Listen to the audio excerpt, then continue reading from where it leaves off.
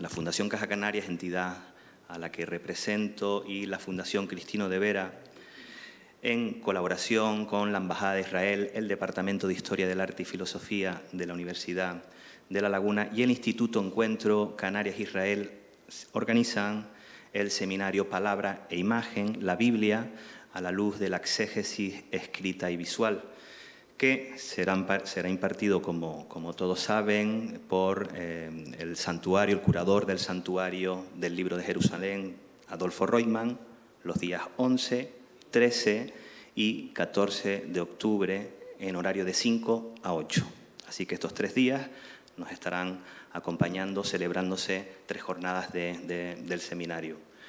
Agradecer especialmente a la Embajada de Israel en España, al Instituto Encuentro Canarias-Israel, al Departamento de Historia del Arte de la Universidad de La Laguna, al Vicerrectorado de Extensión Académica de la Universidad de La Laguna y especialmente a Sapir Efrón, consejera de Cultura de la Embajada de Israel en España, Ángel Quintero, quien nos acompaña, director del Instituto Encuentro Canarias-Israel, Clementina Calero, eh, profesora titular del Departamento de Historia del Arte de la Universidad de La Laguna y directora académica del curso en eh, el que hoy nos encontramos, al que hoy asistimos, y por supuesto a Adolfo Reutemann, curador santuario del Libro de Jerusalén. A continuación eh, voy a ceder la palabra a Clementina Calero para que cuente eh, un poco al detalle las características del curso al que están asistiendo los grupos de jóvenes, los alumnos, alumnas que se encuentran hoy con nosotros, Porque, eh, como saben, este seminario va dirigido a alumno matriculado, además de público en general que puede asistir de forma libre. Así que, por favor, eh, Clementina Calero.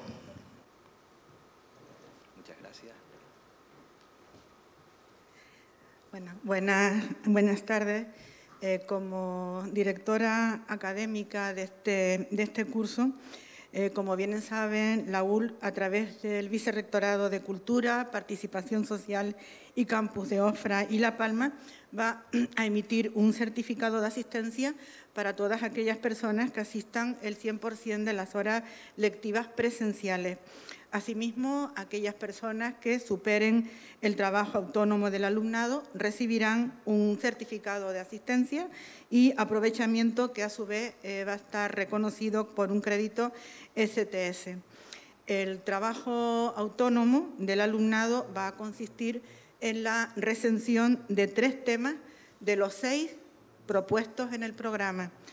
En cada jornada, el alumno o la alumna tiene que elegir un tema y realizar su correspondiente recensión. Cada uno de los trabajos, de los tres que debe presentar el alumno o la alumna, no podrá superar los tres folios escritos por una sola cara, fuente Arial, tamaño 12, con interlineado de 1,5 centímetros.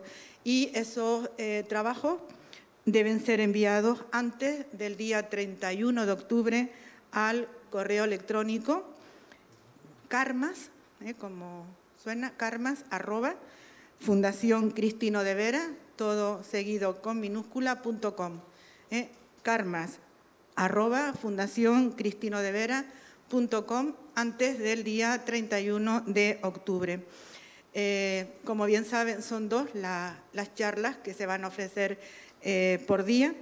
Entre una y otra haremos un descanso de 15 minutos eh, no se vaya muy lejos, o sea, por aquí cerquita, porque queremos ser bastante, bastante mm, digamos que llevar a, rajatabla el tema de la, del horario y cuando vuelvan a entrar para la segunda charla deben firmar nuevamente afuera eh, para nosotros poder tener o llevar a cabo el registro del, del aforo, ¿no? sobre todo en el caso de los, de los alumnos o las alumnas que se hayan matriculado por parte de la UL. Muchas gracias, Clementina. Y a continuación eh, cedo la palabra a Ángel Quintero, director del Instituto Encuentro Canarias eh, Israel, que explicará un poco más al detalle la parte más específica del seminario al que asistimos. Por favor.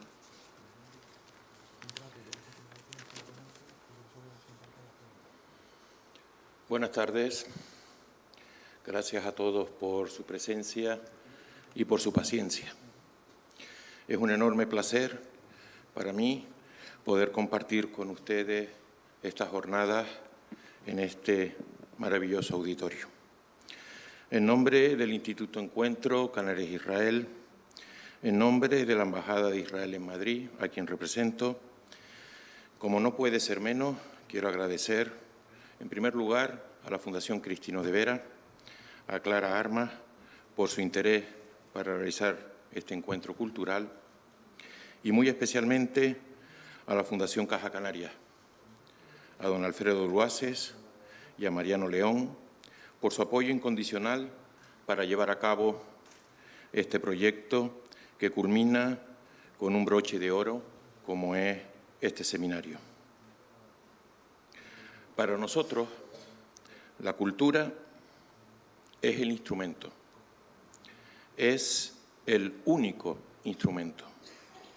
Es la herramienta más poderosa que nos permite conocernos a nosotros mismos, nuestro pasado, nuestro presente y tal vez poder así atisbar nuestro futuro, pero sobre todo, y no menos importante, conocer al otro, al diferente, su historia, su presente.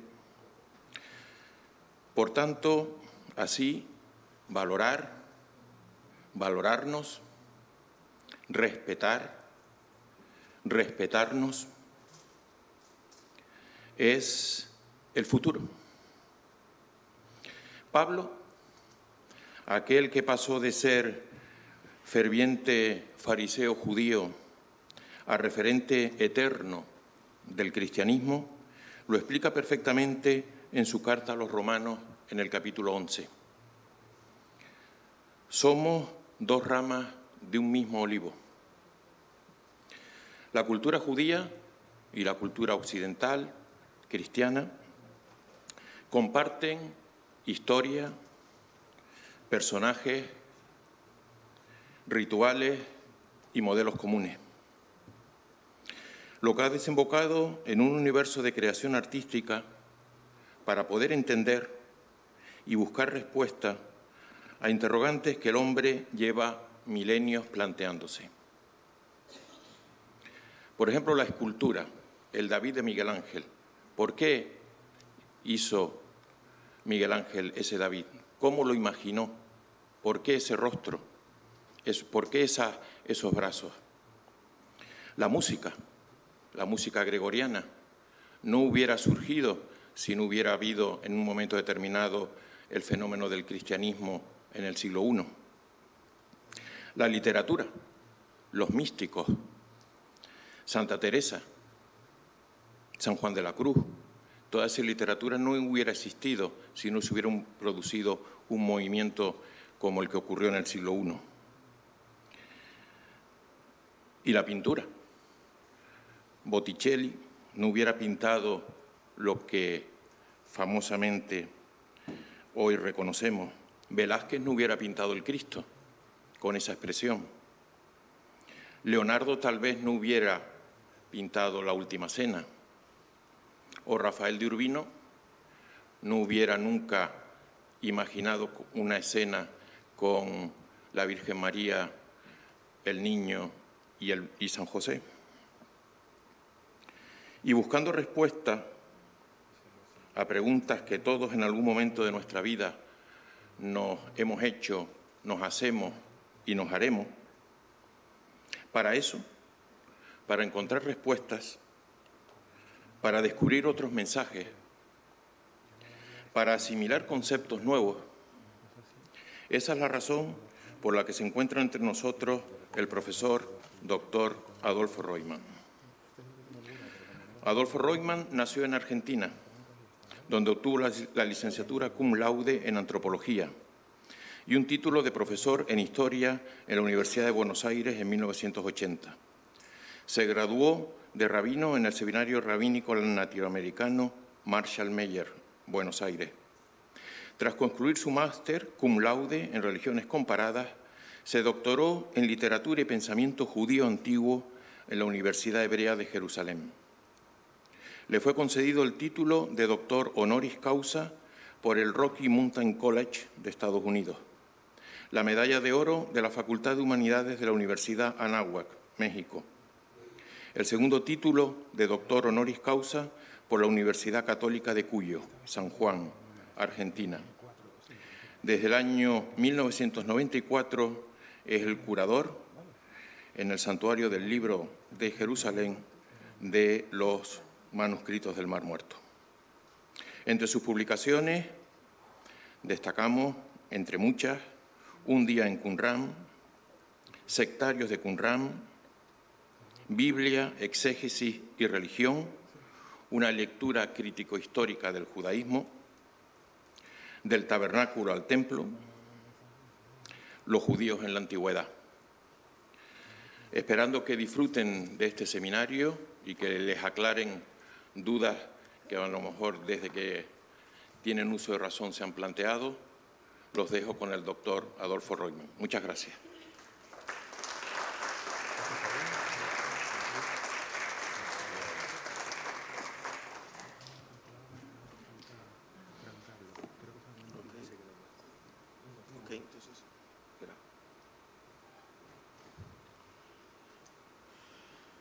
Buenas tardes a todos. Es para mí un verdadero honor estar aquí en la Fundación Caja Canarias, en los marcos de actividades de las jornadas organizadas por tantas instituciones. Y no quiero volver a mencionar a todos aquellos que hicieron posible mi presencia aquí en Canarias. Pero no puedo dejar de mencionar a Ángel Quinteros, que con su trabajo, con su fervor, con su pasión, eh, consiguió realmente eh, convencerme regresar por cuarta vez a Tenerife para poder compartir con ustedes muchas de mis pasiones. Ayer, en la Fundación Cristiano de Vera, eh, tuve la oportunidad de disertar sobre los rollos del Mar Muerto. Pero hoy, por lo menos, tengo la oportunidad de hablar de otra cosa, además de los rollos. Y el tema que vamos a ver hoy eh, lo preparé especialmente para este seminario. Y quiero solamente con dos palabras explicar cuál es el racional que se esconde detrás del mismo y luego vamos a empezar entonces con, eh, con el seminario mismo. Me imagino que los presentes, quien más o quien menos, han leído, si no toda la Biblia, pero me imagino muchos de los pasajes de la Biblia. Han leído sobre la historia del paraíso, sobre el patriarca Abraham, sobre la torre de Babel y conocen, quién más o quién menos, el texto bíblico. Pero el texto bíblico muchas veces es muy tramposo, porque por un lado parece uno conocerlo, y en realidad son textos muy complejos. Son textos que fueron escritos hace miles de años, en una realidad cultural, política, religiosa, espiritual, totalmente diferente al mundo donde nosotros vivimos. Pero además de ello, la literatura bíblica es muy compleja para entender. El estilo de la Biblia hebrea muchas veces esconde más de lo que cuenta. Y entonces hay baches en el conocimiento agujeros negros que nosotros como lectores de una historia esperaríamos que el texto atendiera esos temas, principalmente viniendo de una tradición occidental, en donde nosotros leemos sobre la apariencia física de un personaje, la descripción detallada de una sala el mobiliario, y eso es antes de que suceda algo en la historia. Los textos bíblicos precisamente se caracterizan por un lenguaje muy escueto, en donde no huelgan las palabras. Y eso obviamente invita a la interpretación. Nosotros en este seminario haremos varias cosas. Por un lado, trataré de colocar en un contexto histórico, espiritual, literario, algunos de los temas que nosotros habremos de tratar. Y luego también haremos referencia a la exégesis, a los intérpretes, en algunos casos judíos, en algunos casos cristianos, cómo ellos entendieron las historias. Porque todos los que están presentes aquí, estén conscientes o no, somos resultado de miles de años de exégesis. Nosotros ya no estamos capacitados de leer el texto tal cual el texto reza. Nosotros ya proyectamos en el texto siglos de interpretaciones. Y por eso me pareció como oportunidad este seminario compartir con ustedes algunas de esas exégesis. Y para el caso habremos de recurrir, por ejemplo, a la literatura apócrifa y pseudoepigráfica, en algunos otros casos al Nuevo Testamento, a tradiciones rabínicas, y de esta manera también poder compartir ese trasfondo cultural común de judíos y cristianos que abrevan de esas fuentes. Y eso tiene que ver precisamente con lo que llamé la exégesis escrita. Pero también en este seminario quiero explorar otra dimensión de la exégesis, que es la exégesis visual. Mis disciplinas, como se hizo mención, no son la historia del arte. He hecho cursos, pero no es mi disciplina académica. Vengo de la antropología, del estudio de las religiones, específicamente de la literatura y el pensamiento judío antiguos, pero con el tiempo he recurrido al arte como recurso exegético, porque los artistas también tenían que interpretar un texto, un personaje, una escena, para poderlo expresar en el lienzo, o en un mosaico, o en una escultura. Y dado que mi especialidad es fundamentalmente el mundo antiguo, en este seminario me habré de centrar, no de manera exclusiva, pero me habré de centrar en el arte paleojudío y paleocristiano, que puede ser que para algunos sea un verdadero descubrimiento precisamente que paralelamente al arte cristiano antiguo hay un arte judío antiguo. Y de qué manera dialogan entre ellos. Y en algunos casos haré referencia también a artistas en la historia de Occidente, que obviamente van más allá de la época antigua, pero también van a ser un referente para nuestro tema. Como dijimos, el seminario se extiende desde las 5 de la tarde a las 8. Hoy, por supuesto, hay un tiempo que fue consumido con todas estas introducciones, pero es parte del género literario. Siempre, la primera clase siempre tiene introducciones. Yo trataré de atenerme a los tiempos. Nosotros tendremos un break más o menos de unos 10, 15 minutos y según los tiempos también abriré un pequeño espacio de preguntas y comentarios. Entonces, vamos a comenzar. Eh, ¿Hay posibilidad de bajar la luz?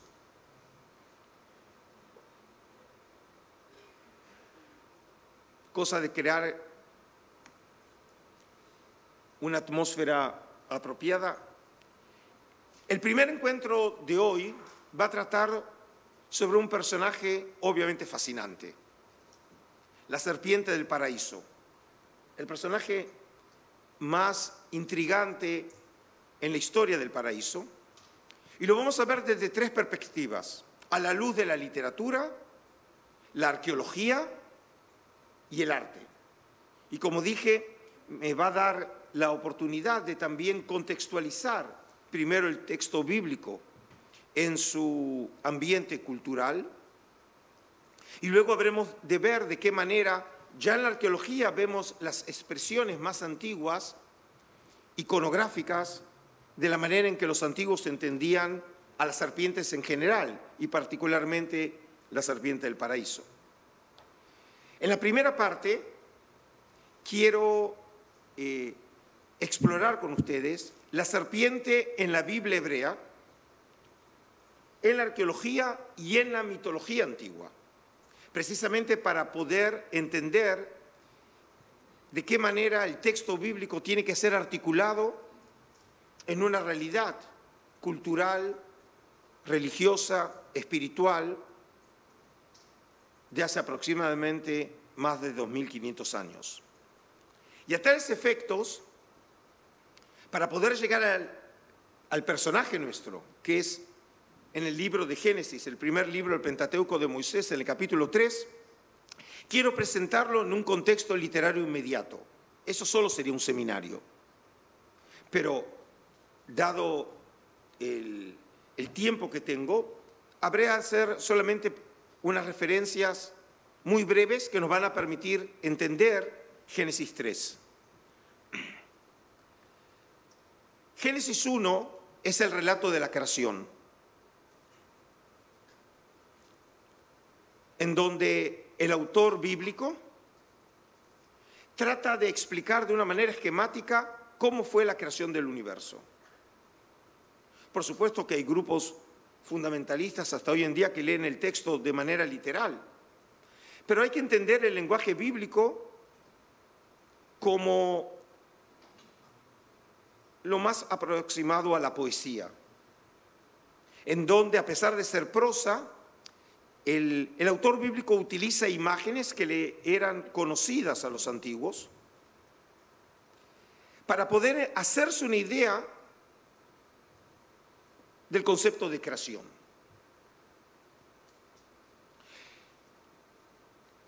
En la versión bíblica no se hace la pregunta ¿qué había antes del mundo? En otras mitologías comienzan con los orígenes de los dioses, como por ejemplo en la epopeya del Enuma Elish, que es la epopeya babilónica de la creación. El texto bíblico presupone la existencia de un Dios creador. Y solamente a partir de ese momento comienza el relato. La existencia del Dios creador es un dato que hay que aceptar. Y así comienza el versículo 1. En un principio Dios creó los cielos y la tierra. Ese es un dato.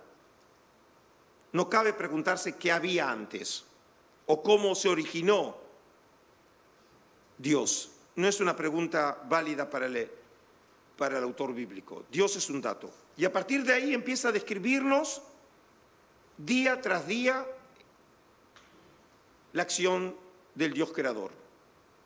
Y al final, luego de haber dicho casi todos los días que la creación era buena, termina diciendo, y vio Dios cuanto había hecho y todo estaba muy bien. Y atardeció y amaneció el día sexto. Es decir, que el Dios creador evalúa la creación y la ve como muy buena. No podía ser menos saliendo de la mano del Dios creador. Y este espíritu, este ambiente, esta sensación de optimismo que nos da el capítulo 1, empieza a sufrir un vuelco a partir del capítulo 2. Como no es un seminario académico de biblistas, no voy a entrar en pruritos académicos, pero en realidad en el comienzo del Génesis tenemos dos versiones de la creación. Una es el capítulo 1 y otra es el capítulo 2, en donde vemos que los datos no coinciden e incluso hasta se contradicen. Por ejemplo, según la versión del capítulo 1, Dios creó al hombre y la mujer en un mismo momento. Según la versión del capítulo 2, primero creó al hombre y luego a la mujer. Es decir, que hay una jerarquía. El hombre fue creado por las manos mismas del Dios creador. La mujer fue creado a partir del primer hombre. Claramente hay un estatus superior del varón sobre la mujer. Y luego de haber oído varias veces que la creación era buena y al final que era muy buena, en el capítulo 2 por primera vez oímos de algo que no es bueno. Y dijo luego Yahvé Dios, no es bueno que el hombre esté solo, voy a hacerle una ayuda adecuada. Es decir, claramente en el capítulo 2 ya estamos en otra situación en donde algo no funciona en la creación. Y ahora Adán necesita una pareja. Y la buscan entre los animales. Y obviamente no la encuentra. Y luego sucede otra cosa. Y es que por primera vez Dios le impone al hombre un mandamiento. De cualquier árbol del jardín puedes comer, mas del árbol de la ciencia y del mal no comerás, porque el día que comieres de él morirás sin remedio. Si estamos hablando realmente de una historia, estamos acá en un momento de la trama en donde claramente anticipa que va a haber un problema. Porque obviamente si hay una prohibición, algo va a pasar. Alguien no va a cumplir ese esa ordenanza. Pero todavía en este momento todavía no sabemos qué importancia tiene esta prohibición. Solamente sabemos que hay una prohibición y Yahvé no explica tampoco las razones por las cuales está prohibido comer el fruto. Y luego, obviamente, crea finalmente a la mujer y el texto termina de una manera optimista. Y por eso deja al hombre a su padre y a su madre y se une a su mujer y se hacen una sola carne. Y estaban ambos desnudos, el hombre y su mujer, pero no se avergonzaban uno del otro. Es decir, estamos en un ambiente paradisíaco en donde hay una pureza inicial, una ingenuidad inicial. Los dos primeros hombres son como si fueran unos niños y como los niños no se avergüenzan de la desnudez. Es decir, había habido una pequeña crisis, que era la soledad del primer hombre, pero fue solucionada y ahora finalmente se unen en una sola carne. Y es en este momento, en el capítulo 3, que aparece un nuevo personaje que es la serpiente. Hasta este momento nunca había sido mencionado en la historia. Y como en cualquier historia, cuando entra un nuevo personaje algo va a pasar. Y así cuenta el texto. La serpiente era más astuta que todos los animales del campo que Dios el Señor había hecho. Así que le preguntó a la mujer, ¿es verdad que Dios le dijo que no comieran de ningún árbol del jardín? Y la mujer le contesta, podemos comer del fruto de todos los árboles, respondió la mujer, pero en cuanto al fruto del árbol que está en medio del jardín, Dios nos ha dicho, no coman de ese árbol, ni lo toquen, de lo contrario morirán. No tengo tiempo para entrar en detalles, pero obviamente el texto genera muchísimas preguntas. Primero, ¿cuántas veces han visto ustedes una serpiente que hable? Bueno, hablando precisamente de Israel, en Israel tenemos 120 miembros en el Parlamento que hablan. Es decir, ya el texto nos habla de una realidad que es diferente al mundo que conocemos. ¿Hay alguna vez, vamos a ver si conocen la respuesta, ¿hay otro ejemplo en la literatura bíblica en donde un animal hable? ¿Sí? ¿Cuál es? la burra de Balaam, ¿sí? Es decir, es el burro en el libro de números, pero el texto bíblico dice claramente que Dios abrió la boca del burro. Es decir, que es un milagro y obviamente Dios puede ser, hacer incluso hablar, hablar a un burro. En este caso, el texto no sugiere que haya un milagro. Parecería ser que es el orden del mundo un tema, por ejemplo, que los exégetas se van a preguntar. cómo explicar la capacidad del habla de la serpiente. Y además también la presenta como astuta. Aquí también es un problema de traducción. Estamos leyéndolo obviamente en una traducción. El término en hebreo es arum. Y el término arum puede tener doble significado en hebreo bíblico. Puede ser un uso negativo, porque la astucia es la inteligencia usada para el mal. O puede ser también como en un sentido positivo, de alguien que es inteligente, que tiene capacidad de pensar.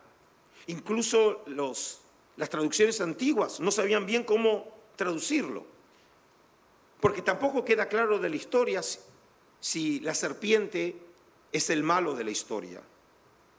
Ustedes dicen, pero todos sabemos que es malo. Claro, como dije, somos el resultado de dos mil años de exégesis. Por eso lo vemos como un personaje negativo.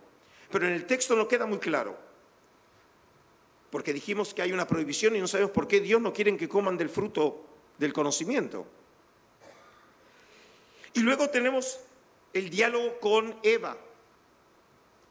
Y es llamativo que en esta escena no se hace ninguna mención de Adán. Adán no está presente. ¿Dónde está Adán? Es decir, la escena se concentra solamente en la serpiente y en la mujer. Y cuando le pregunta, ¿y es verdad que Dios le dijo que no comieran de ningún árbol del jardín? La respuesta de Eva es, podemos comer del fruto de todos los árboles, respondió la mujer. Les recuerdo que cuando Dios le ordenó a Adán, lo que le ordenó, Eva no había sido creada. Y por lo tanto no sabemos cómo sabe Eva qué es lo que dijo Dios. Si acaso Adán se lo comentó, si acaso Dios se volvió a revelar y a ordenarle a Eva, el texto no nos dice. Pero lo que sí sabemos, que Dios nunca habló que esté prohibido tocar el fruto. Es decir, las palabras de Eva revelan un agregado al texto original, a las palabras del Dios creador. Pero la serpiente le dijo a la mujer, no es cierto, no van a morir.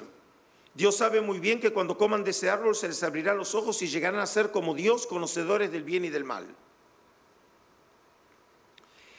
Y en esta escena, con estas palabras, se termina el papel activo de la serpiente. Estas son las últimas palabras de la serpiente. ¿Y cuándo vuelve a aparecer la serpiente?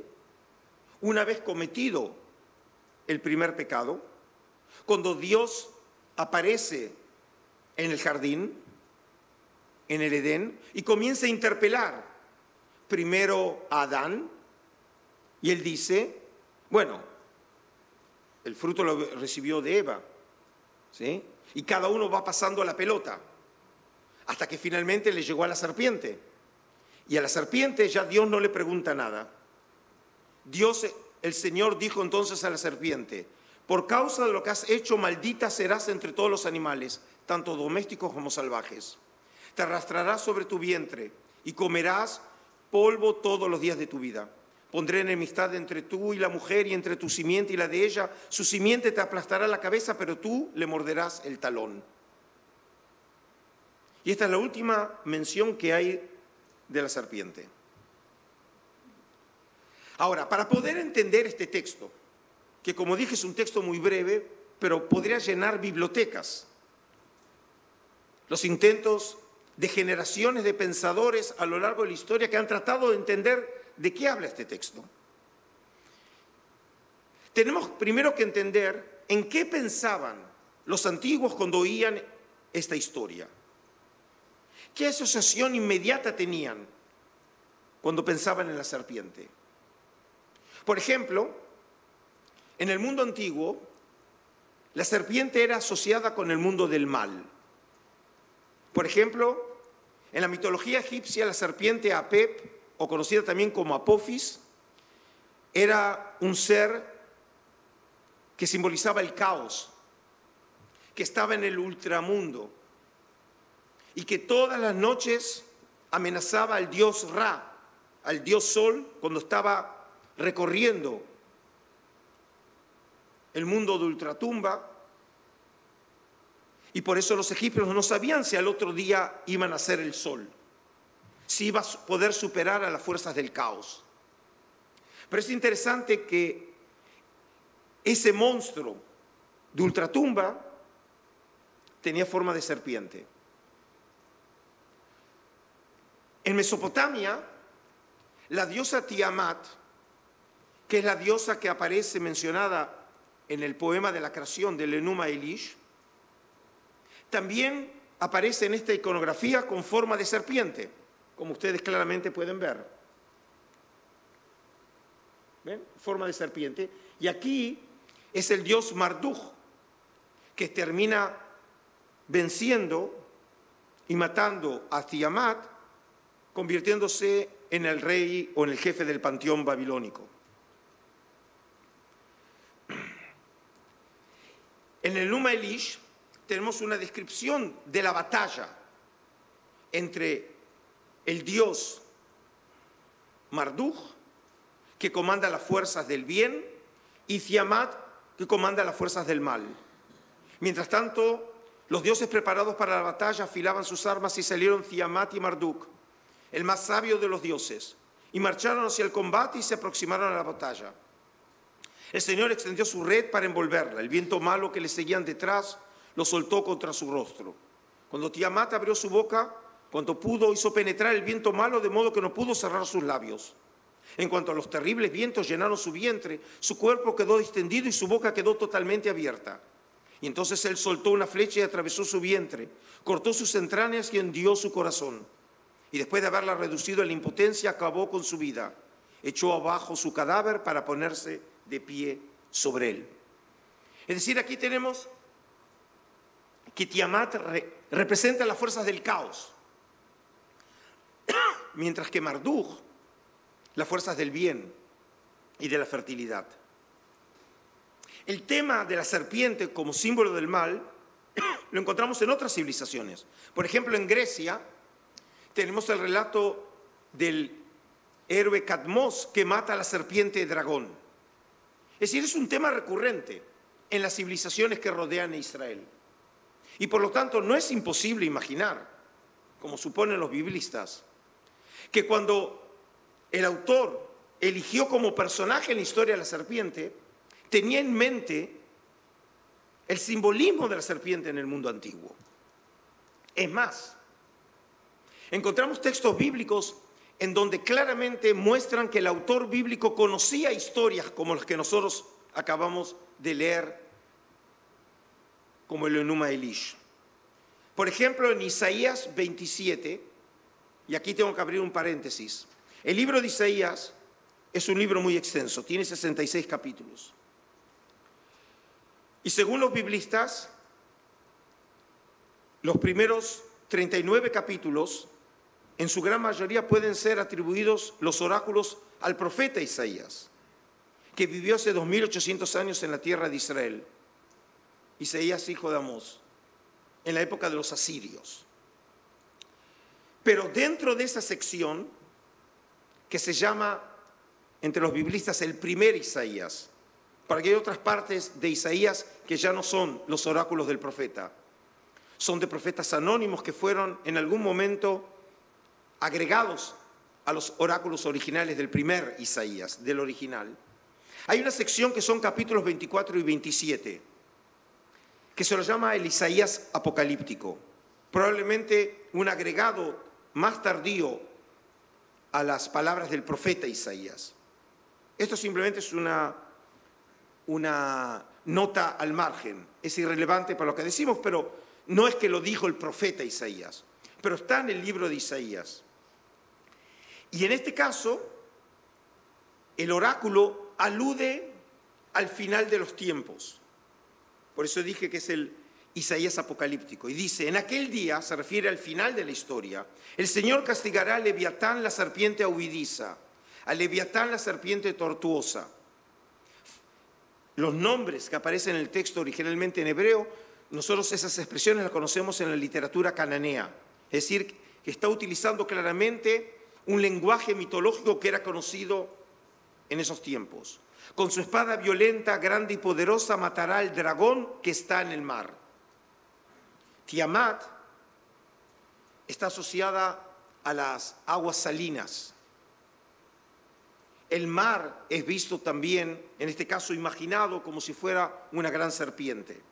Es decir, que el autor bíblico parece conocer tradiciones como conocemos en el mundo mesopotámico, y si es así, no es imposible pensar que entonces el término Nahash, que es como se dice serpiente en hebreo en Génesis 3, estaría claramente sugiriendo figuras como estas que son el símbolo del mal. Y en este caso parecería corroborar lo que nosotros generalmente le atribuimos a la serpiente, que es un ser maligno. Sin embargo, el simbolismo de la serpiente no se agota en eso. Fíjense en este relieve funerario del siglo VI en Grecia, en donde tenemos aquí a los dioses sentados en el mundo de ultratumba, recibiendo a los muertos, y fíjense quién está detrás del trono, una serpiente. Porque la serpiente está asociada a la tierra, parece salir dentro de la tierra, está asociada con lo octónico. Y por eso no es casualidad que en hebreo dijimos que Nahash en hebreo serpiente, pero adivinar en hebreo es lenahesh. Es decir, está asociado también a lo esotérico. Porque si la serpiente viene del mundo de ultratumba, significa que está asociado también a los secretos y los misterios. Y obviamente la muerte siempre, desde siempre, representó un misterio para los hombres. Pero como sucede muy frecuentemente con los símbolos, los símbolos son polivalentes. Es decir, que pueden significar una cosa y lo contrario. Por un lado puede significar la muerte y el mal, y por el otro lado la serpiente puede significar fertilidad y vida. Fíjense en, estas, en estos dibujos cananeos, en unas escenas claramente de copulación sexual, sea de animales o de seres humanos, aparece la serpiente, porque la serpiente está asociado claramente con la idea de la fertilidad. Siglos antes del simbolismo sexual que encontramos en la obra de Freud. Fíjense, por ejemplo, en, este, en esta vasija, que el original se encuentra en el Museo de Israel, el asa es una serpiente dándonos a entender que la serpiente está abrevando del agua, y obviamente el agua es símbolo de vida. Y hasta tal punto la serpiente está asociada con la vida, que tenemos otro relato de los muy conocidos en el mundo mesopotámico, la epopeya de Gilgamesh, que es un héroe mítico, parte humano y parte divino, y la historia gira alrededor del tema de la búsqueda de la vida eterna. Y en un momento llega a un personaje, a Utnapishtim, que es el Noé mesopotámico, o en realidad tenemos que decir que Noé es el Utnapishtim israelita, es al revés. La tradición esta es mucho más antigua que la bíblica. Es decir, en otras palabras, el relato bíblico del diluvio que en algún momento haré referencia, es una versión israelita de una historia que se conocía en el mundo antiguo y que tenemos testimonio en la literatura sumeria y mesopotámica. Y finalmente Utnapishtim le revela el secreto de la vida eterna, porque él, habiendo sido un hombre, se convirtió en un dios. Y finalmente llega a conseguir esa planta que le otorgaba vida eterna. Y fíjense lo que sucede. Gilgamesh habló así a Urshanabi, el batelero. Urshanabi, esta planta es una planta excepcional. Gracias a ella el hombre puede reconquistar el aliento de su vida. La llevaré a la amurallada, amurallada Uruk. Él era el rey de la ciudad. Haré que coman la planta. Su nombre será el hombre se hace joven en la vejez. Yo mismo la comeré, así volveré al estado de mi juventud. Y al cabo de veinte leguas comieron un bocado, después de treinta leguas, mas se separaron para pasar la noche. Gilgamesh descubrió una fuente cuya agua era fresca. Descendió hasta ella y se bañó. Y mientras tanto una serpiente olfateó la fragancia de la planta, salió del agua y arrebató la planta. Y al retirarse mudó la piel. Significa que la serpiente ahora obtuvo la vida eterna. Interesante, en nuestra historia tenemos un árbol del conocimiento, del bien y el mal, y hay un árbol de la vida. Es decir, que nuestra historia está asociada también al concepto de vida eterna. Y aparece una serpiente. Y vamos a volver sobre el tema. Es decir, que como vemos, el autor bíblico construye la historia a partir de los simbolismos que están enhebrados en derredor de la figura de la serpiente. Por eso no puede ser analizada la serpiente solamente desde una sola perspectiva. Y desde este punto de vista, la serpiente como símbolo de vida también lo conocemos en la Grecia antigua. Fíjense en el dios Asclepio, que es el dios sanador en el santuario de Epidauro. Y fíjense aquí, tienen una serpiente, lo que se llama el cadubeo, que está enrollada en derredor de su cetro. Es decir, que los antiguos también conocían la asociación de la serpiente con la vida, no solamente con la muerte. Y ustedes dicen, pero es algo contradictorio, pero es verdad. Porque hay vida y muerte, y son dos caras de una misma moneda. Pero además de todo ello, el autor tiene en mente otro tema, y es que diosas están asociadas a las serpientes. Fíjense, por ejemplo, está la diosa Isis del siglo I, en donde ven que en la mano tiene una serpiente. Fíjense, por ejemplo, la estatua de Afrodita del periodo romano del siglo I, en donde vemos acá a la diosa desnuda y vemos a la serpiente, pero fíjense en dirección a dónde se está dirigiendo, en realidad a la vulva. Y recuerden que nuestra escena, la primera mujer está también desnuda. Significa que también nuestra historia está sugiriendo otra dimensión en la historia, que es una dimensión sexual. Y vamos a ver cómo los artistas van a pensar en ese aspecto. Y finalmente, si no se convencieron hasta ahora, fíjense la diosa serpiente de Cnosos de la época minoica en Creta, de hace 3.600 años, en donde claramente ven a la diosa sosteniendo dos serpientes en sus manos y mostrando todas sus bondades como mujer. Ahora, quiero centrarme específicamente en la figura de la serpiente, porque es una serpiente muy particular, la serpiente del paraíso. Presenta características físicas e intelectuales. Por un lado, como dijimos, la se revela como un ser sabio. Y precisamente es sintomático que los primeros creados por Dios, todavía antes de comer del fruto, presuponen que todavía no llegaron a alcanzar la sabiduría. El texto presupone que son como niños, muy ingenuos, pero la que tiene sabiduría es la serpiente. ¿Qué otra cosa se presupone la serpiente, como dijimos, la capacidad del habla. El texto no explica qué relación hay con ello. Pero, por ejemplo, si leyéramos aquí la obra de Aristóteles, en su obra sobre los animales, él decía que había una relación en el hecho de que los hombres son los únicos seres que hablan, porque tienen raciocinio significa el hecho de afirmar que la serpiente tiene razón, tiene capacidad de pensar, presupone entonces también la condición para poder hablar. Pero además hay otra cosa también que el texto nos dice.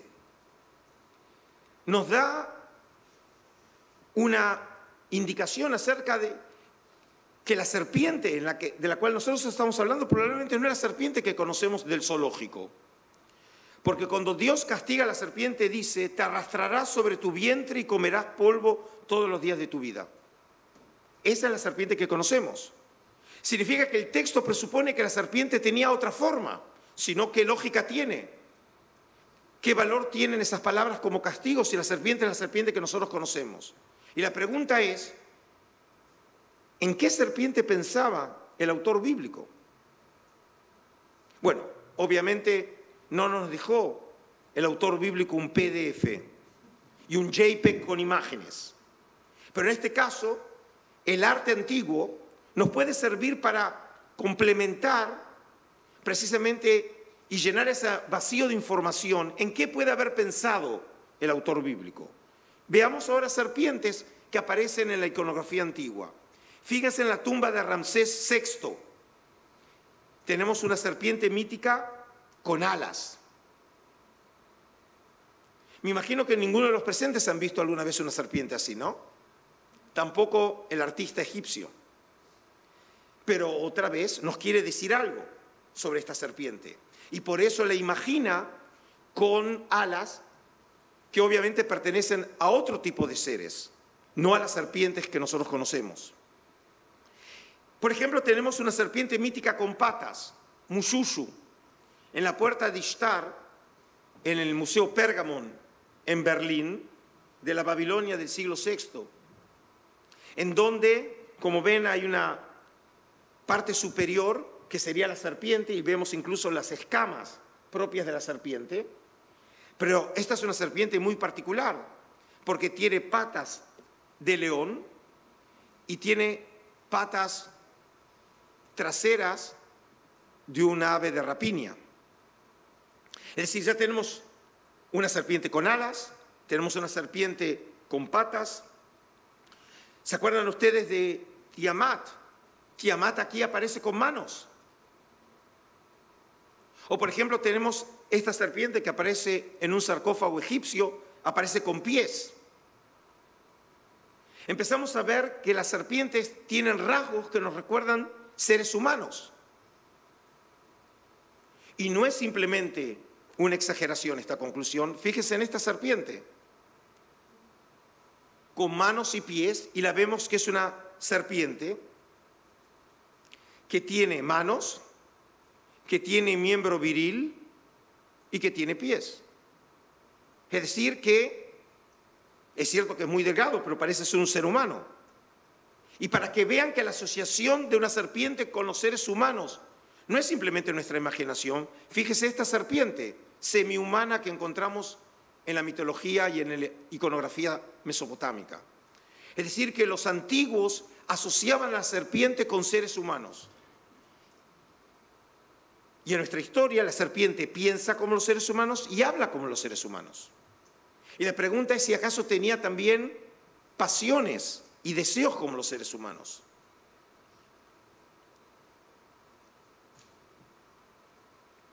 Es decir, la primera pregunta es, ¿quién fue la serpiente del paraíso?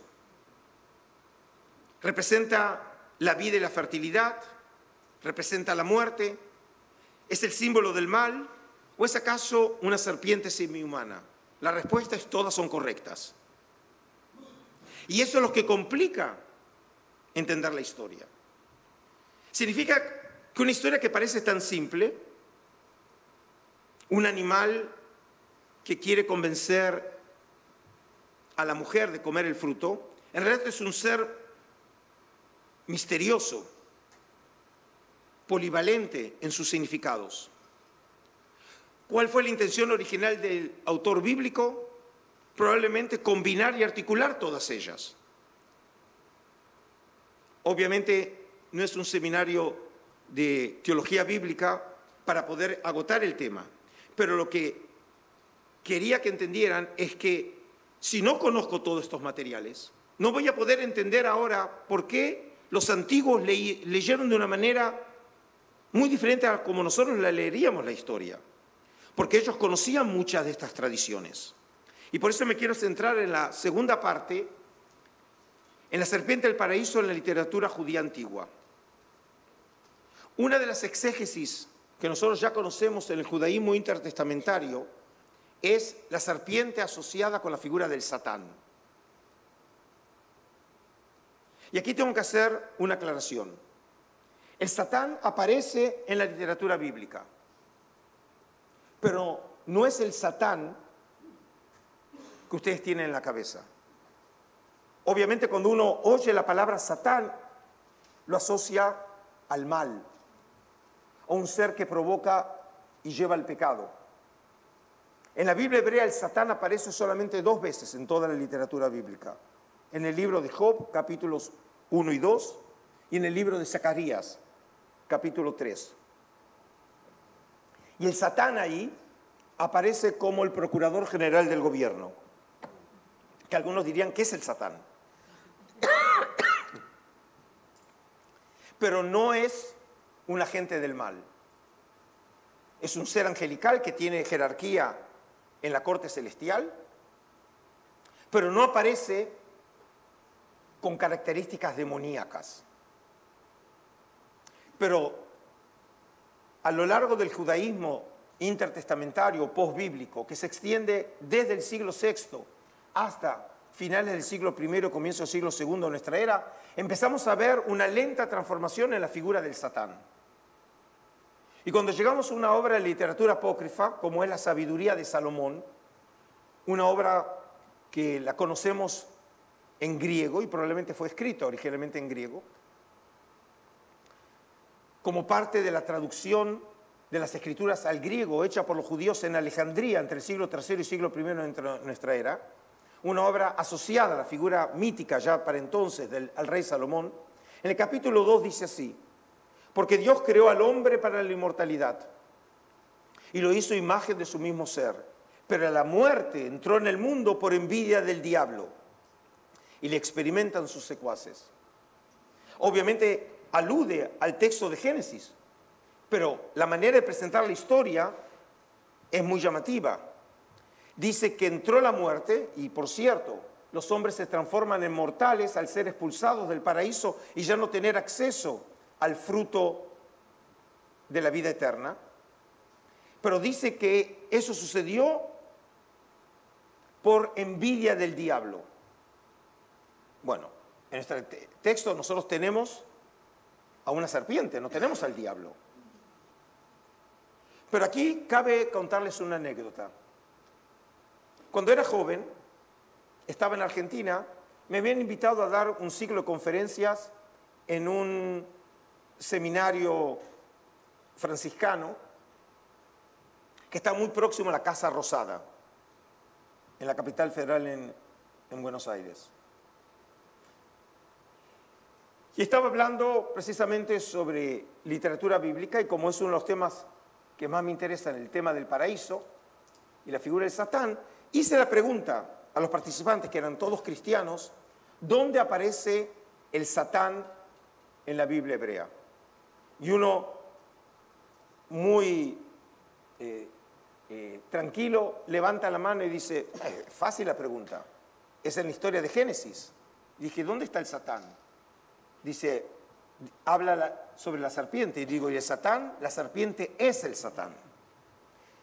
Esa es una respuesta que nunca la hubiera recibido de un judío. Pero en la tradición cristiana es inmediata la asociación de la serpiente con el Satán. El texto del Génesis no hace ninguna alusión al Satán. Y la primera vez que los textos judíos lo conocemos es aquí en Sabiduría, que es un texto judío. Es decir, que los judíos habían desarrollado esa teología, pero en realidad es un tema que no prendió en el judaísmo, pero sí aprendió en una de las ramas del judaísmo que va a ser luego el cristianismo. Pero luego tenemos, entre los libros que nos llegó de la literatura no canónica, una obra que en realidad tenemos en varias versiones. Lo conocemos como la vida de Adán y Eva en griego, en latín, penitencia de Adán en armenio. Lo conocemos esta obra o este cuerpo de tradiciones en eslavo eclesiástico, en georgiano. Y esta historia, que tiene un desarrollo literario muy complejo, revela un interés que parecen haber tenido ya los judíos en la época antigua, y es qué pasó con Adán y Eva después de la expulsión del paraíso. ¿Qué pasó con ellos? Es, muy poca la información que nos dan los textos bíblicos después de la expulsión. ¿Cómo se arreglaron? Tenían una vida muy cómoda, eran siempre VIP en el paraíso. ¿Y ahora qué hicieron después del paraíso? ¿Cómo enfrentaron la condición ahora de seres mortales? El texto bíblico no dice nada. Pero los antiguos hicieron esa pregunta y contaron la historia. Y hay un momento en la historia en donde Adán está agonizando. Y entonces los hijos le dicen a Eva, ¿qué es eso? Porque es la primera vez que van a ver a alguien morir. Y entonces, en ese momento comenzó este momento del relato. Y dicho esto, el ángel se separó de ellos. Set y Eva llegaron a la tienda donde yacía Adán. Y dijo Adán a Eva, ¿qué has hecho con nosotros para traernos tan gran cólera, cuál es la muerte que se enseñorea de toda nuestra raza? Y añadió, llama a todos nuestros hijos y a nuestros nietos y anúnciales cómo fue nuestra transgresión. Y ahora, ¿qué sucede desde el punto de vista narrativo? El autor vuelve hacia atrás, hace un flashback y le pone en boca de Eva la versión, su versión de cómo fue la tentación. Y entonces Eva les dijo, escuchad todos hijos y nietos míos, pues os voy a comunicar cómo nos engañó nuestro enemigo. Al custodiar el paraíso, cada uno guardábamos nuestro lote, una parcela recibida de Dios. Con mi parcela yo guardaba el norte y el poniente, pero el diablo se fue a la parcela de Adán, donde estaban las fieras machos, puesto que Dios nos había repartido las fieras y había dado todos los machos a vuestro padre y las hembras a mí, de modo que cada uno de nosotros conservaba lo suyo. Obviamente nada de esto aparece en la tradición bíblica. No sabíamos que había una sección de hombres y de mujeres, donde los animales machos estaban bajo el control de Adán y las animales hembras bajo Eva. Como ven, la tradición trabaja 24 horas y va desarrollando los temas. Y el diablo habló a la serpiente, que obviamente no tenemos nada de esto en nuestros textos. Levántate, ven hasta mí y te diré una cosa que te va a ser de provecho. La serpiente se llegó a él y el diablo le dijo, se dice que eres muy más sagaz que todas las fieras, por eso he venido a aprender de ti. He llegado a la conclusión de que eres mejor que todas las fieras y que estas son amigas tuyas. Y sin embargo, te prosternas ante las más pequeñas. ¿Por qué comes de la cizaña de Adán y su mujer en vez del fruto del paraíso? Significa que tenemos en esta nueva versión que hubo una tentación antes de la otra tentación. El Satán convence a la serpiente para que finalmente haga caer a Adán y Eva. Levántate, ven acá y hagamos que sea arrojado el paraíso por medio de su mujer como nosotros fuimos arrojados por su culpa. El texto en la versión griega no explica a qué se refieren estas palabras, pero en la versión latina, en la versión armenia, conocemos a qué se refiere. Significa que antes de la caída de Adán y Eva hubo otra caída, fuera de Saltán en el cielo. Y por lo que hizo fue expulsado. Y como fue por Adán, él ahora quiere vengarse. Todo eso no lo tenemos en el relato bíblico, pero vemos cómo la tradición empezó a enriquecer y a desarrollar temas que se le van agregando al relato tan ingenuo, entre comillas, de Génesis. Le contestó a la serpiente, temo que se enfade conmigo el Señor. Y el diablo intervino, no temas, conviértete solo en un instrumento mío y yo hablaré por tu boca una palabra con la que puedas engañarlo. ¿Se acuerdan que una de las preguntas era, ¿cómo explicar la capacidad del habla de la serpiente? Ahora la sabemos. El que hablaba no era la serpiente, era el Satán. Y solamente la serpiente funcionaba como un vehículo, como un instrumento por medio del cual el que hablaba realmente a Eva era el Satán. Al punto se encaramó en los muros del paraíso hacia la hora en que solían subir los ángeles de Dios para adorarlo. Satanás adoptó forma de ángel y entonaba himnos a Dios como los ángeles. Yo, la que cuenta es Eva, me asomé por el muro y lo vi como un ángel y me dijo, ¿eres tú Eva? Le contesté, yo soy. Y me dijo, ¿y qué haces en el paraíso? Y le, repliqué, Dios nos puso para guardarlo y comer de él. Y el diablo me respondió por boca a la serpiente, hacéis bien, pero no coméis de cualquier planta. Y yo le dije, sí comemos de cualquier planta, menos de una que está en medio del paraíso, de la que Dios nos prohibió comer, porque moriréis sin remedio. Y entonces me dijo la serpiente, vive Dios que me dais pena porque sois como animales y no quiero que sigáis en la ignorancia. Levántate, ven, hazme caso, come y comprenderás la categoría del árbol. Pero yo repuse, temo que se va a enfadar Dios conmigo conforme nos dijo.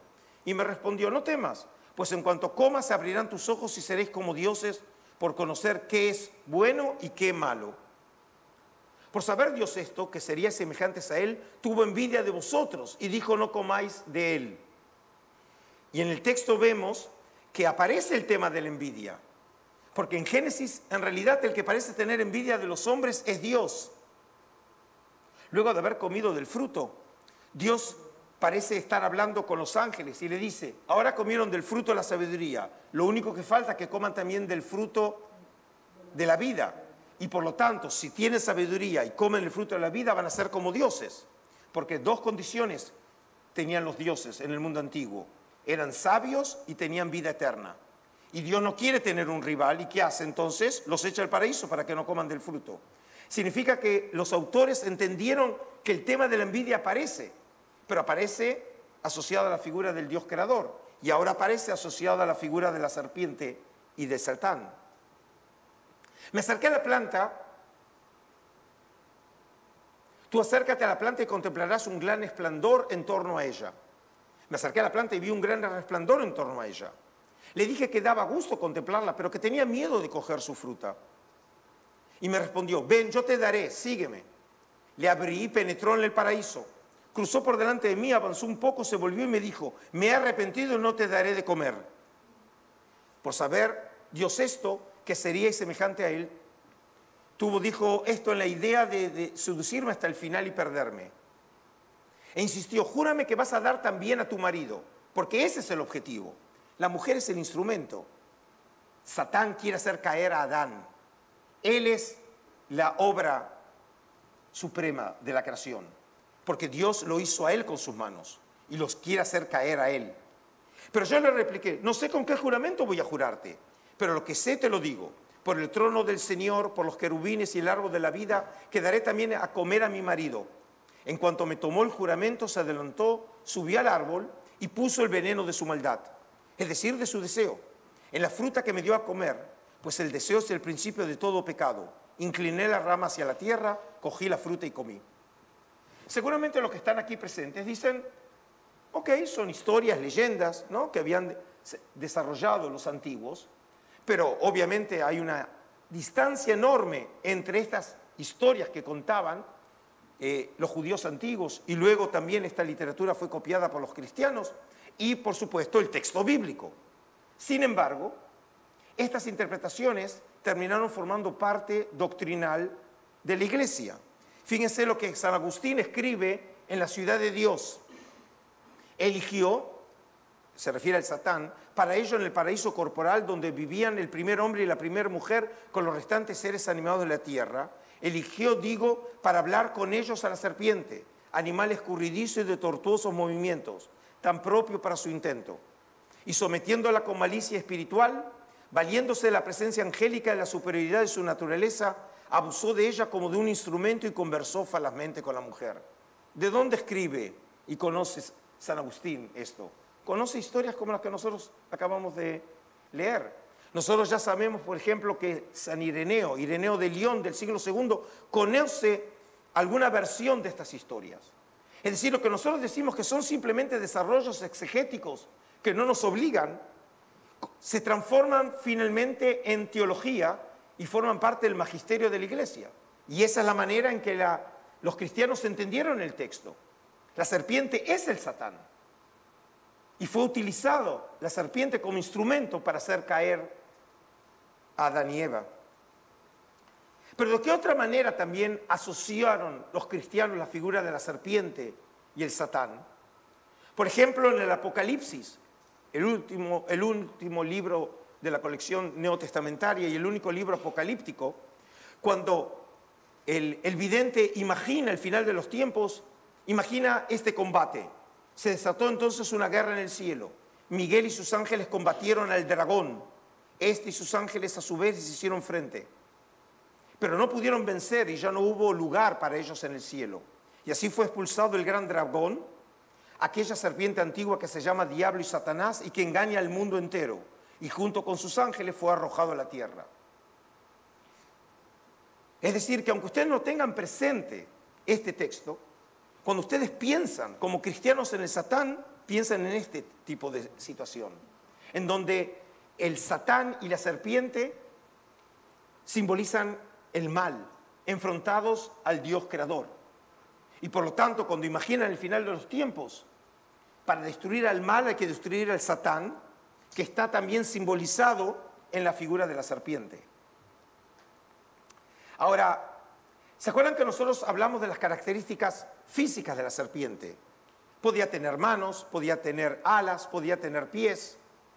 Y es interesante ver que esa idea de la serpiente aparece en la exégesis antigua, que nosotros vemos en la iconografía. No nos dejaron dibujos, pero nos dejaron textos.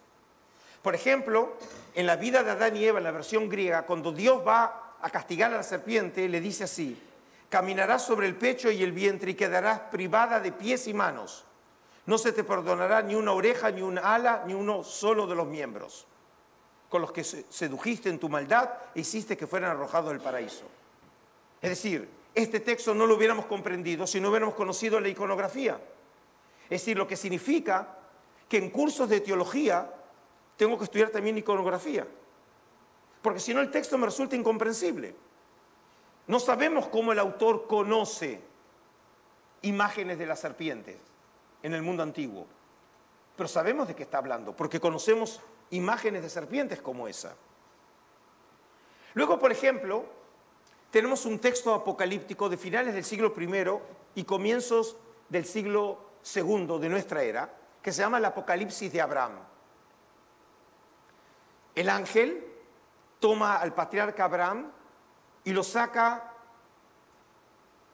al cosmos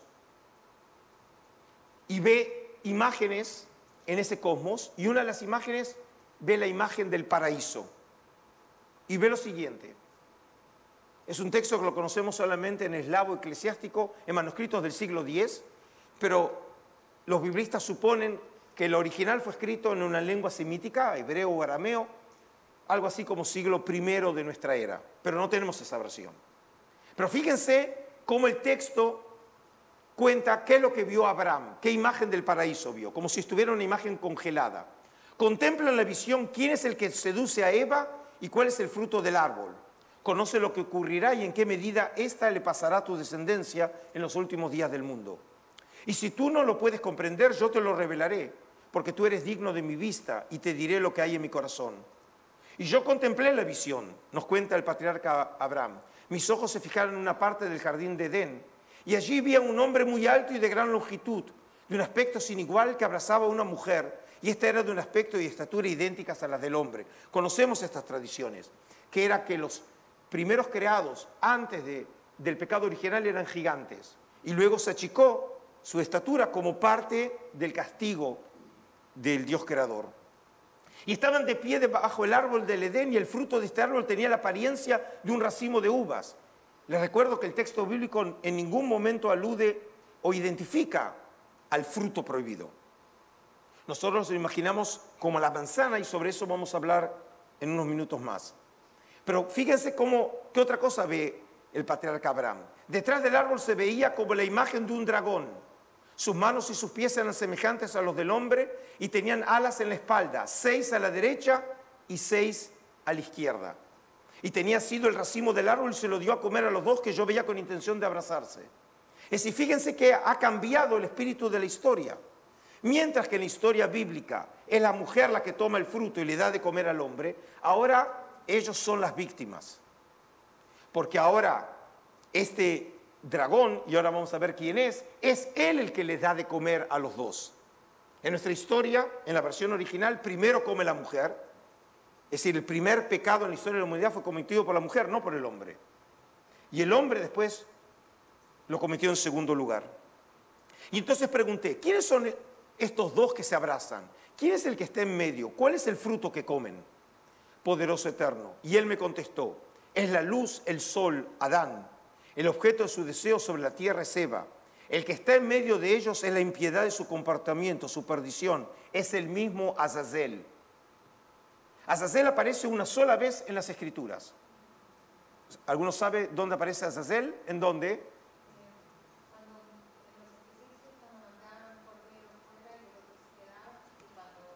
Es el texto que nosotros leímos en la mañana del Día del Perdón. Eh, hace días atrás celebramos los judíos el Día de la Expiación, el Día del Perdón, el Yom Kippur. La lectura de la mañana es Levítico 16.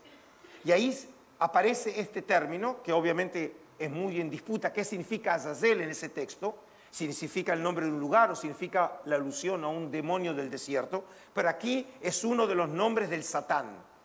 Y esa tradición después ya va, se va a ser muy conocida en Occidente. Es uno el nombre del Satán, está asociado a la figura de Azazel. Ahora, cuando habla, por ejemplo, de las alas, que dice que tiene seis alas y seis alas, ¿en qué está pensando? Está pensando en otro texto. Está pensando en el texto de Isaías, en el profeta de Israel, cuando en el capítulo 6, cuando él va a ser nombrado profeta, tuvo esta visión. El año de la muerte del rey Usías vi al Señor excelso y sublime sentado en un trono y las orlas de su manto llenaban el templo y por encima de él había serafines, cada uno de los cuales tenía seis alas. Con dos de ellas se cubrían el rostro, con dos se cubrían los pies y con dos volaban. En nuestro caso, como Azazel es un ministro en la corte celestial, tiene doble, seis y seis. Pero el tema está tomado de los textos bíblicos. Pero otra vez, ¿en qué pensaban los antiguos. Fíjense este vaso de libación de Gudea con el dragón Mushusu, dedicado al dios Ningizida. Fíjense que tiene, es una serpiente, que tiene manos, que tiene pies y que está alada. Es decir, que cuando los antiguos pensaban en la serpiente, también los exégetas bíblicos probablemente conocían de alguna manera estas tradiciones iconográficas. Ahora, estas características físicas de la serpiente lo conocían también los exégetas judíos. El gran historiador judío fue Flavio Josefo, finales del siglo I, un intelectual que cuando cuenta la historia del castigo de la serpiente, fíjese qué versión dice, que Dios le quitó la palabra y la privó además de los pies. El texto bíblico no dice nada de eso, pero significa que Josefo conoce las tradiciones que nosotros conocíamos en la literatura apócrifa. O por ejemplo, en un Targum, Targum es la traducción de las escrituras al arameo, dice, sobre tu vientre te moverás y tus patas serán cortadas. Otra vez, no nos llegaron estas ilustraciones por medio de los judíos, pero sus palabras nos revelan que ellos conocen esos textos. Significa que vemos acá cómo la palabra se articula con las imágenes. Ahora, ¿se acuerdan que hablamos nosotros de el ambiente sexual que tiene la escena? Y ustedes dicen, bueno, es cierto que hay una serpiente y hay una mujer desnuda, pero los, antiguos supieron leer el texto. Fíjense, por ejemplo, lo que dice un midrash judío de los más antiguos, el Bereshit Rabbah, más o menos del siglo V quinto de nuestra era, es decir, la época bizantina. Rabbi Yoshua ben Korja dijo, porque los vio manteniendo relaciones sexuales, él, es decir, la serpiente, la deseó. Bueno, eso sería claramente una telenovela de Colombia o de México. Así comienzan los dramas, ¿no? En las parejas. Es decir, que él no está hablando de una serpiente como nosotros conocemos en el zoológico. Lo imagina que es una serpiente que tiene deseo sexual. Pero no solamente la deseaba, sino que fíjense en otra tradición, en el Talmud de Babilonia, Rabbi Yohanan dijo, cuando la serpiente copuló con Eva, él puso en ella el deseo. Significa que ya no solamente se quedó en deseo, sino que se pudo acostar con Eva. Y ustedes dicen, pero no entiendo. ¿Qué significa que se acostó con Eva? No solamente que se acostó con Eva, En uno de los escritos gnósticos llamado el Evangelio de Felipe, los escritos gnósticos fueron hallados dos años antes que los rollos del Mar Muerto. Los rollos del Mar Muerto, los primeros en 1947, los escritos gnósticos, que es el cristianismo gnóstico, en Nach Hammadi, se encontraron en 1945 en las arenas de Egipto. Fíjense lo que cuenta la historia. El que fue creado es bello, pero tú no deducirías que sus hijos son cristianos nobles. Si él no hubiera sido creado, sino engendrado, deducirías que su semilla es noble. Mas ahora fue creado y engendró. ¿Qué nobleza es esta? Porque surgió el adulterio, después el asesinato, y él fue engendrado el adulterio, pues era hijo de la serpiente. ¿De quién está hablando? De Caín. Es decir, los antiguos tenían que entender cómo puede ser que el Dios creador haya creado a los hombres, del cual nació el primer asesino. ¿Cómo lo explicaron? Que Caín no era hijo de Adán y Eva, era hijo de la serpiente. Y tenemos historias en el mundo antiguo, por ejemplo, que entendían que muchos héroes culturales habían nacido del fruto y la copulación de una serpiente con una mujer. Por ejemplo, uno de los relatos, así nació Alejandro Magno. Es decir, que la serpiente está asociado al mundo de lo divino. la serpiente está asociado con características humanas y por lo tanto se puede acostar con una mujer. ¿Se acuerdan, por ejemplo, en esta escena en donde, en Afrodita, en donde vemos a la serpiente que claramente está en dirección a la vulva? Es decir, las personas que veían esta, esa esa imagen ellos completaban la historia, sabían que hay otro paso. La serpiente está en camino a copular con la diosa. Y ahora, después de todo esto, me dicen, ok, pero ¿acaso no ibas a hablar también del arte? Y ahora van a ver que todo lo que dije es una precondición para poder entender la historia del arte y cómo los artistas a lo largo de la historia entendieron la escena de la serpiente. Por ejemplo, tenemos la historia de la tentación. ¿Se acuerdan? Aquí vemos una serpiente dándole de comer el fruto al dios Geb. Fíjense cómo William Blake, el inglés, a comienzos del siglo XIX, imagina la escena de la tentación. La serpiente es la que le está dando de comer a Eva. El texto bíblico no dice nada de eso. Lo único que hace la serpiente es hablar. Y Eva saca sus conclusiones. Aquí ven que la mujer es una víctima y la serpiente tiene una función activa. Ella es la que le da de comer del fruto. Aquí tenemos a Dürer, en donde tenemos a la serpiente, que ven en su boca tiene al fruto. Eva está tomando el fruto de boca de la serpiente. Y ella, por supuesto, aquí esconde el fruto que ella ya había probado. Todos estos temas no aparecen en la versión bíblica. Pero ¿de dónde los artistas conocen? Ellos conocen estas tradiciones apócrifas, en donde la serpiente es mucho más activa. Y entonces la obra ya refleja las lecturas apócrifas, que por supuesto aquellos que conocían las tradiciones le resultaban claras las historias. Ahora, nosotros tenemos el momento en que Eva le da de comer el fruto a Adán. Fíjense que el texto bíblico presenta muy, de una manera muy diferente al hombre y la mujer. La mujer es la primera que peca y es la que tiene la iniciativa de darle el fruto al hombre. En la versión bíblica, el varón es la víctima. Y lo puedo decir como hombre, los hombres siempre dicen, me lo dijo la, mi mujer, ¿no? Él nunca tiene la culpa, ¿no? No tenemos nunca la culpa. Ahora, ¿qué fruto le está dando esa serpiente? Es la manzana.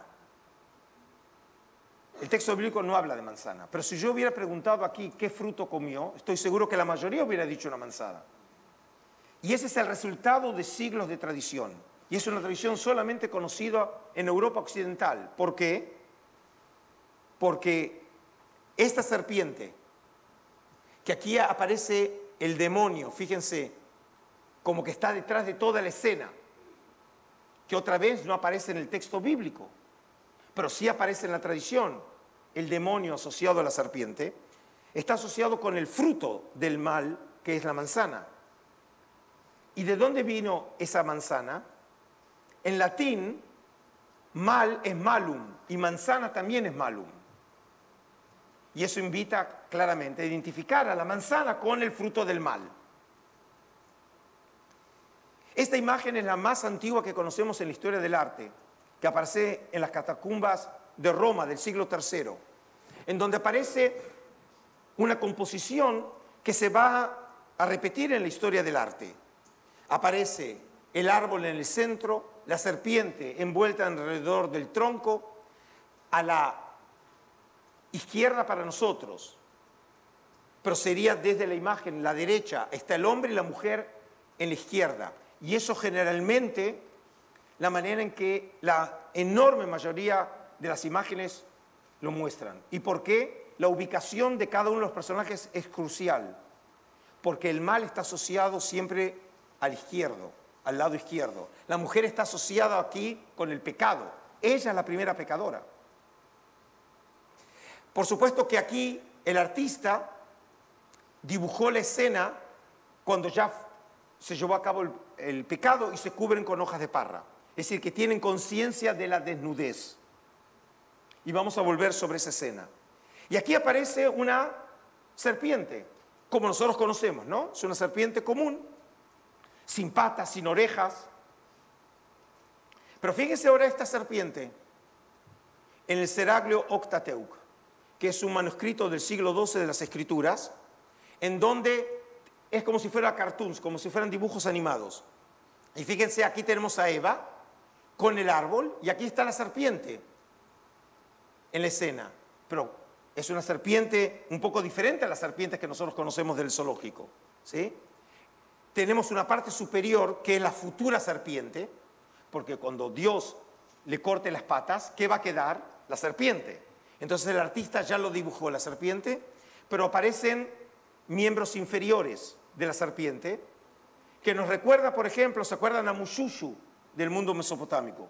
No significa que él conozca estas imágenes, pero vemos que esa idea de que la serpiente tiene patas aparece ahora reflejado no solamente en la literatura, sino en la historia del arte.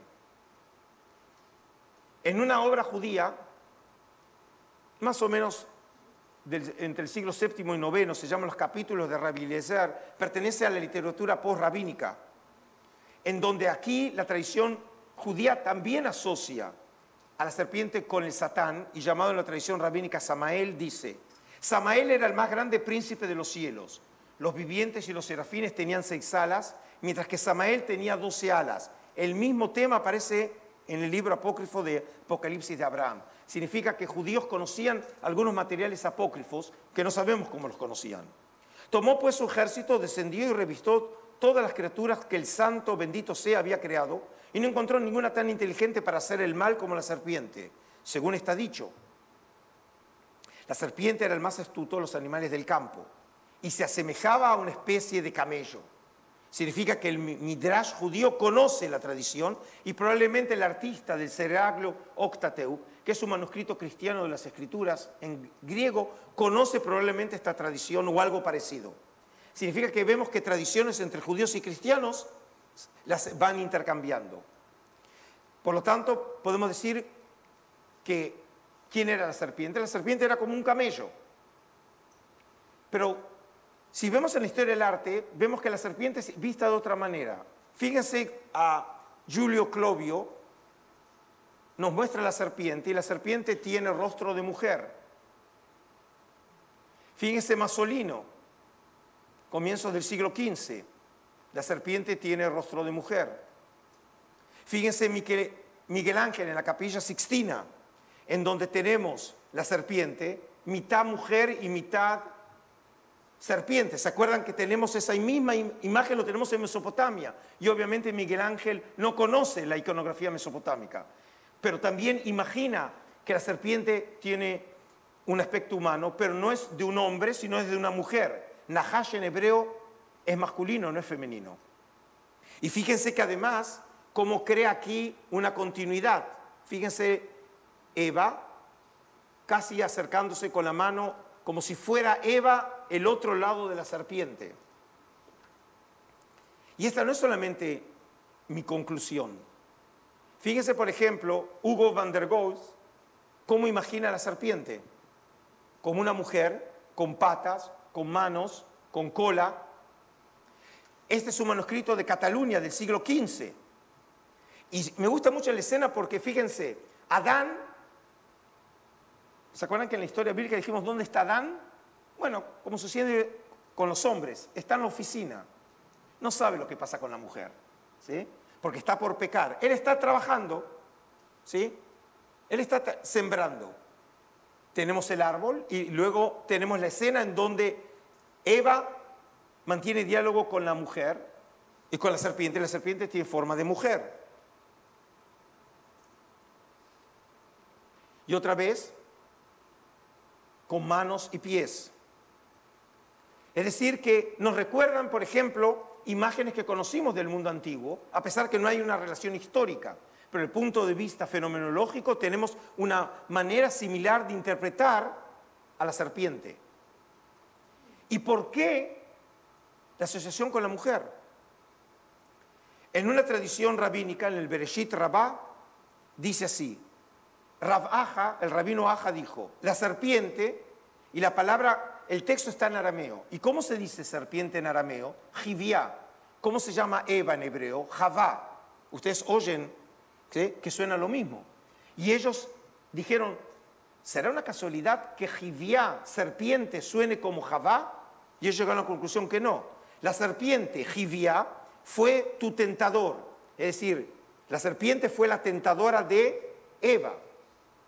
Y tú, es decir, Eva, Javá, fuiste la tentadora serpiente de Adán. Me acuerdo hace años atrás, cuando yo era joven, había sido envidiado por la Universidad Hebrea para recaudar fondos entre los amigos de la universidad y me invitaron a un círculo de mujeres a un café, en donde estuve hablando sobre las cosas que hago en la universidad y dado que yo escribí mi tesis de maestría en la Universidad Hebrea sobre la serpiente del paraíso en la literatura judeocristiana, hablé de este texto hice referencia a la interpretación demoníaca de Eva como mujer. Y entonces las mujeres me dijeron, ¿vos decís que las mujeres somos serpientes? Digo, yo no dije nada, lo dicen los exégetas, lo que les digo que no contribuyeron con la Universidad Hebrea. Es decir, que la serpiente ahora tiene forma de mujer. Luego, por ejemplo, tenemos en este texto armenio, vemos a la serpiente con alas y con pies. Y nosotros los conocemos esos temas de la iconografía antigua.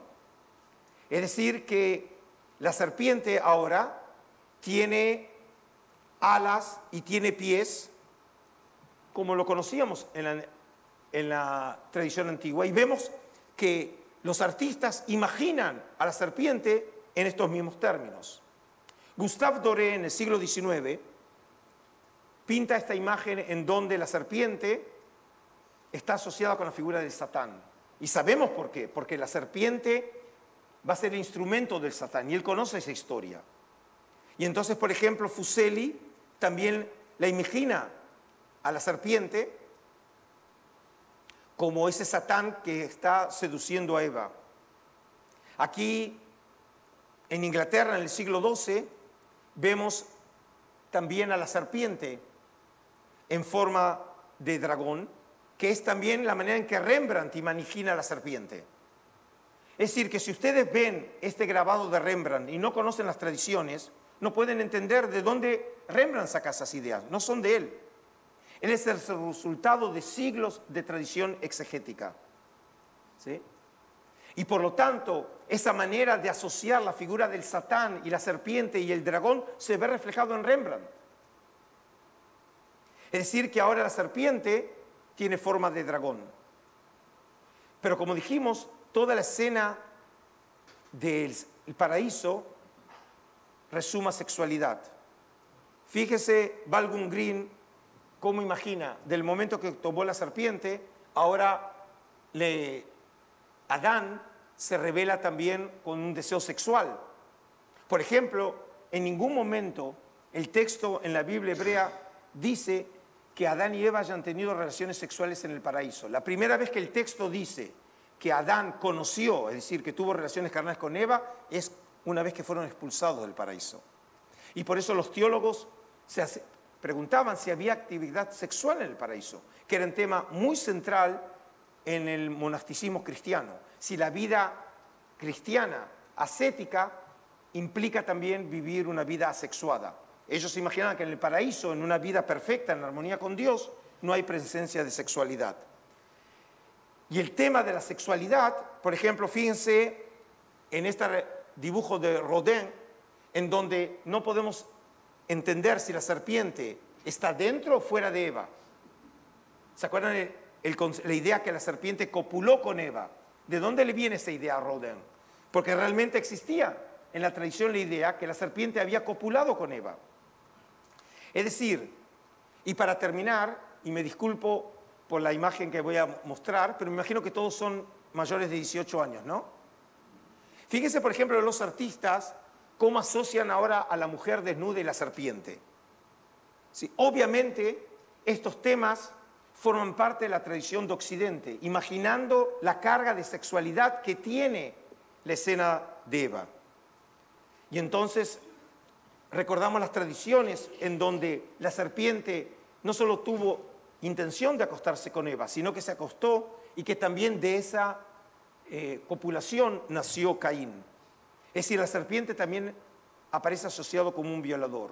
Entonces, para terminar, ¿quién fue la serpiente del paraíso? ¿Fue Satán? ¿Fue un camello? ¿Fue un dragón? ¿Fue una mujer? ¿O un ser alado? ¿O un violador? Como dije, esta historia tiene tantas posibilidades exegéticas que todas las respuestas son correctas. Muchas gracias.